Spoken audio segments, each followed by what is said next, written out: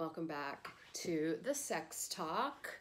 My name is Mou and I'm your host. Um, I'm a sex therapist, and today I would love to chat with you all about vaginal lubrication and arousal.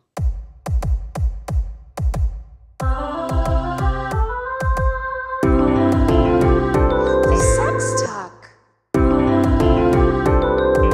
The Sex Talk. So, I wanted to do a post on vaginal lubrication as well as lube and arousal. So, we, I think we live in a society where it is assumed that the wetter some the more lubricated somebody is uh, down in their vulva their vagina that that equates to arousal. Well this is where the mind and body aren't always connected um, number one. Number two our body creates lubrication for other reasons other than arousal. Um, for example when women are experiencing rape, for example, sometimes they do experience lubrication because that's their body's way of saying, ow, this hurts. Let me assist the body in creating something that will make this a little bit easier. So that's, you know, I think that is sort of the evidence right there that even when women are not aroused, they might be lubricated and wet also the reverse is true. Women may be extremely aroused and not experience wetness or lubrication. And that is extremely normal and I can't help that but to emphasize that vaginal lubrication is not necessarily a sign of arousal similarly with with male erections you know we talk to a lot of men and they will be aroused and their penis is not hard they're not having a, an erection. And so it's hard to imagine that they might actually be aroused. Um, if a man has an erection it's assumed that he's aroused but actually he may not be. So this video is just to remind you that our bodies and our minds aren't always in sync when it comes to eh, you know it's not even that they're not in sync it's just that we have this false idea about what lubrication and erection really means. We've come to assume that lubrication must mean that she's turned on and that lack of lubrication means she's not turned on. And that an erection means that he is turned on and lack of erection means he's not turned on. But I'm here to tell you that arousal happens a lot of times without her being wet and without him having an erection. For for women when they are not wet, um, one really, really awesome solution is lube. And lubrication, buying lube, like bottles of lube, cans of lube, jars of lube, and keeping them by your bedside is a really smart thing because lubrication can also help with uh, masturbating. Lubrication can help with something as simple as inserting a tampon. Um, you know, some if it's dry, if your if your the entrance to your vagina is dry then it's going to make it hard to insert a tampon it's going to make it hard to insert a sex toy insert some fingers insert a penis so having some lube on hand is a really really great idea if you are in a monogamous relationship or I should rather say a fluid bonded relationship. Fluid bonded means that you and your partner share fluids and you either are getting tested regularly or you have a an agreement to not sleep with other people. So you're fluid bonded, meaning that, or if you do sleep with other people, you're using protection with those other people, but together you're not using protection. So those those partners that don't use protection together are fluid bonded.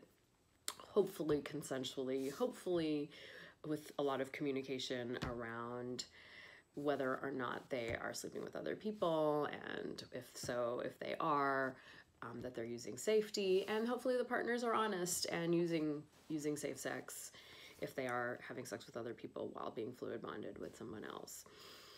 The reason I bring that up is if you are not using condoms, all of that to say that if you are not using condoms, one great way to have lube on hand all the time is coconut oil.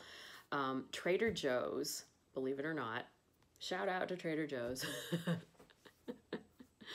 they sell these little travel packets of coconut oil. I kid you not. Coconut oil is so good for so many things. I use it in my hair. I have really prematurely aging dry hair. Um, I use it for like body lotion. I use it to take off makeup. Um, I can use it as a lip um, lip gloss, and I've actually used it as lube as well. Um, when I was traveling with my partner, who I am fluid bonded with, we were able to use coconut oil because we forgot lube. And do not use coconut oil with a water based, um, sorry, with a latex condom. It will potentially damage the condom. So if you're using a latex condom, you're trying not to get pregnant, you're trying not to get, get an STD, you're trying not to spread HIV then you really want to, you're using a condom for those purposes. You're not fluid bonded with your partner. Do not use coconut oil. There are water-based lubes that are really great to use with condoms and I have my favorites. Um, I particularly like um, a brand called Sliquid um, and um, there are several other ones that you can find. Um, just go online to goodvibes.com or Pleasure Chest, and they will, those are my favorite sex toy companies there because they're sex positive and they do a lot of education. And you can buy and peruse all manner of lubes. When you use a lube, um, and you're using a condom, opt for a water-based lube because the other types of lube, the silicone-based lubes or oil-based lubes, um, can potentially damage the condom. So, um, and water-based lubes are great too. I just brought up coconut oil because I thought, um, you know, we were talking about tampons, inserting tampons, um, inserting sex toys, um, you know, inserting fingers. Um, coconut oil is a great lubricant when you are not potentially combining it with latex. So just wanted to throw that out there. The main point of this conversation, though this video, is to to normalize the use of lubrication during sex, during masturbation, during so many reasons we might need to, you know, insert something. Your your your gynecologist uses lube before they stick that latex hand up into your vagina. So they're probably using a water-based lube. But just, you know, to tell you that it's really, really normal to be dry and to not be lubricated, even though you feel aroused, even though you really, really want to have sex with your partner.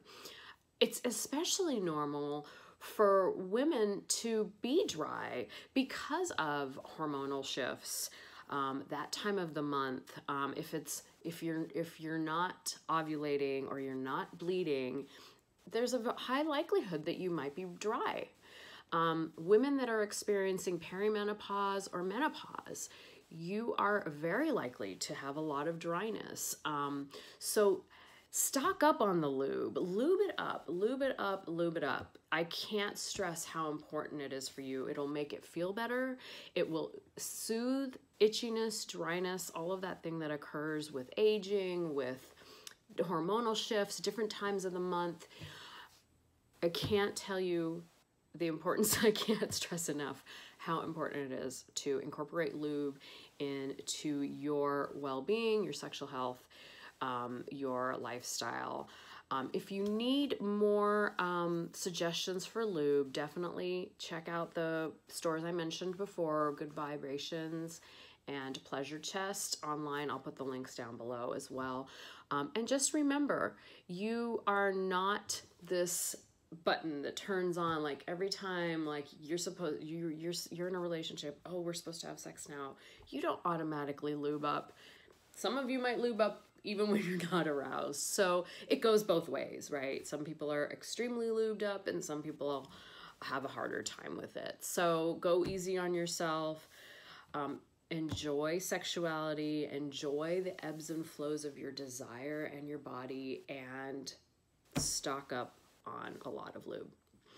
That's it for today. I'll talk to you everybody soon. Take care. Bye.